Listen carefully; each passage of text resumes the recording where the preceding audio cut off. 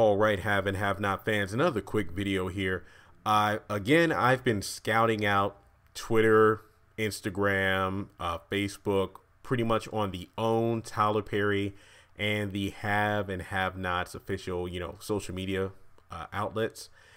I have yet to see any clips of the episode. It is almost five o'clock. Well, excuse me, four fifteen when I'm recording this particular video. So just based off speculations, I don't think we'll get any clips tonight like we usually do before an episode. And from there, I guess that means the episode will be that much better. So all I've seen is, you know, little 10 second little, I guess you could say teaser trailers with photos or scenes of the upcoming episode. Um, talking about how the haves and the have nots will be on for the next three months. So May, well, this month, next month in July, and also the fact that, uh, especially on um, Angela Robinson's and um, Peter Parros's social media pages, they've been posting videos about like the trouble, turmoil, and the ups and downs of their marriage. So uh, Veronica and David.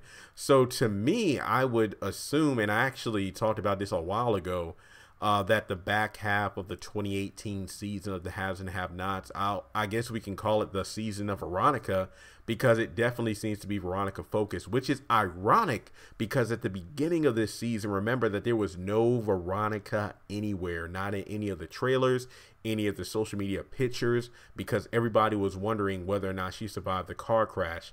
But now it looks like, you know, Tyler Perry is picking up the pace in terms of, yeah, you want Veronica, she's going to be back bigger and badder than ever before out for revenge, uh, taking out anybody that gets in her way. So I guess you could say that during these next 12 episodes, and again, I'm assuming 12 because they said three months. So May, June, and July, let's just assume, you know, an episode each week. So let's just say there's 12 episodes left, that there's definitely going to be more Veronica than ever before.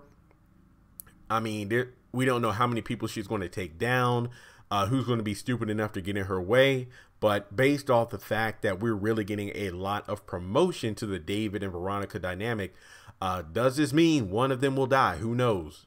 I mean, a lot of the highlights of those videos is the fact that you had people like uh, Jennifer, well, actually more like Maggie, and then the fact that, you know, their son's gay, but Veronica doesn't want to accept it. And uh, I feel like we're definitely going to get a lot more than we bargained for. But could this possibly mean we'll see Veronica's mother?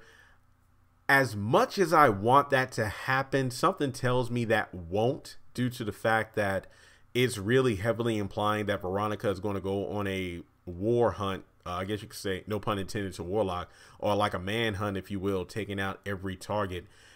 I would still love to see Veronica's mother, but due to the fact that you know the based off the pacing of the show 12 episodes is a lot but when it comes to the overall pacing of the haves and the have nots, 12 episodes could be no more than maybe two to three days, if that. Again, that's just pure, uh, pure speculation on my part. But uh, let me know in the comment section below have you been keeping up with the little teasers that they've been dropping over the past uh, 24 hours?